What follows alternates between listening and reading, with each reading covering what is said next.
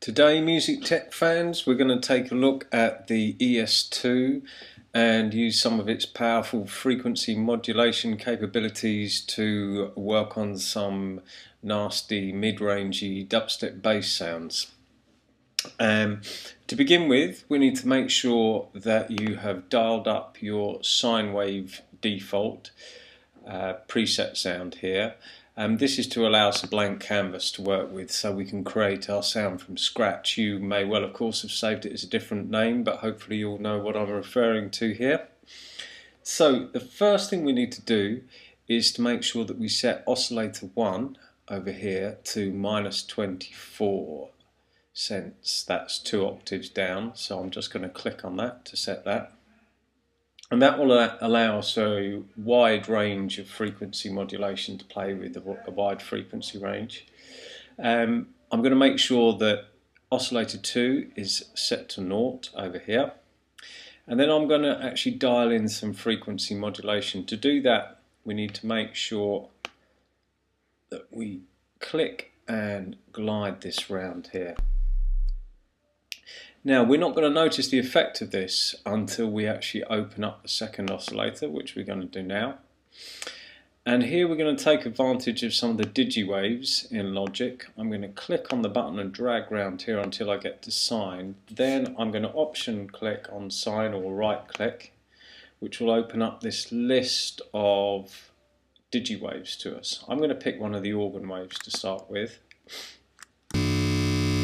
Now you can hear we're getting a nasty, rich kind of sound there. If I toy with the frequency modulation, you can see we get a whole range of different mid-range harmonics coming through for us to going to keep this fairly high. And gradually we're going to work with the filter section to cut some of these away. So the next thing I need to do then is to target this LFO2, low frequency oscillator 2, to the filter section here. So I need to select the target first. I'm going to select cutoff 1 and 2 and I need to make the source LFO2. I'm going to use LFO2 because this will allow us to tempo sync the oscillations. So we will have a look down here at how this is going to work. I'm going to set this to quarter note triplets to start off with and we're going to stay with our sine wave to make nice uh, smooth even oscillations there.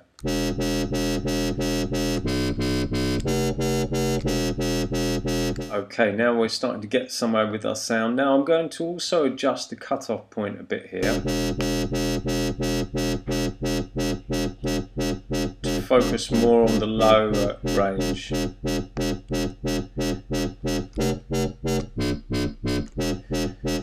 And now what I want to do is another little trick that I've discovered recently, thank you to the mighty YouTube, um, which is we're going to target the pitch of oscillator 2 we're going to use LFO1 we're also going to include the mid wheel, mod wheel here and what we're going to do is LFO1 is going to be used to change the pitch. Now if you have a listen to this, if we have a low frequency rate, this creates quite a weird sound. This is not really what we're after.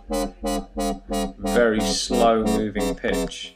What we're going to do is ramp the rate up as high as we can and you get a nice bit of fat detuning effect. Keep it fairly subtle and if I want to make it more extreme then I can use the mod wheel to do that. I'm also just going to pull down the cut off a bit there.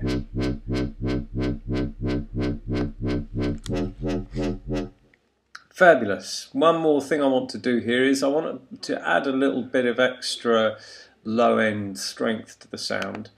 We're going to take advantage of oscillator 3 here.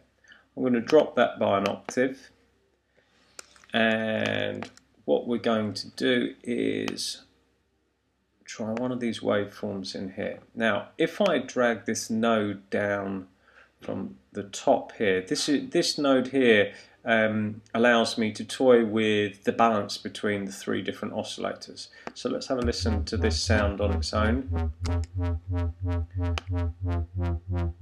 Got a bit of warmth to it and that will help add a bit of extra low end depth and body to the sound. Now I'm going to pull the other sounds in a bit.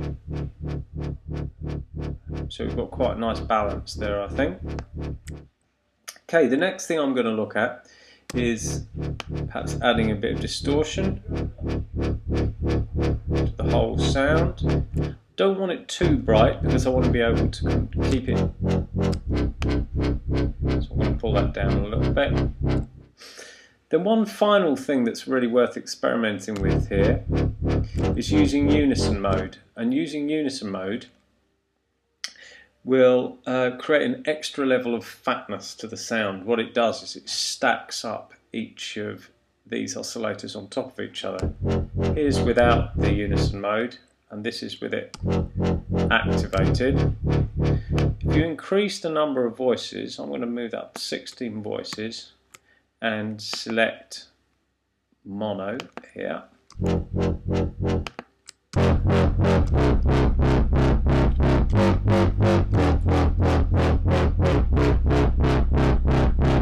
Then we've really got a super rich fat bass sound.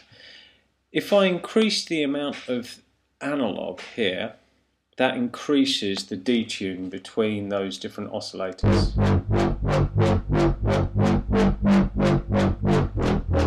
Creating, as you can hear, even richer and more varied tone colours. So it's up to you to dial in whatever you fancy for your uh, crazy bass lines.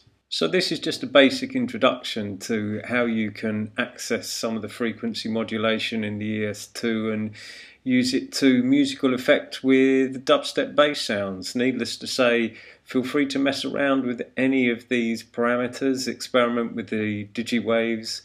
There's a lot of fun to be had with them.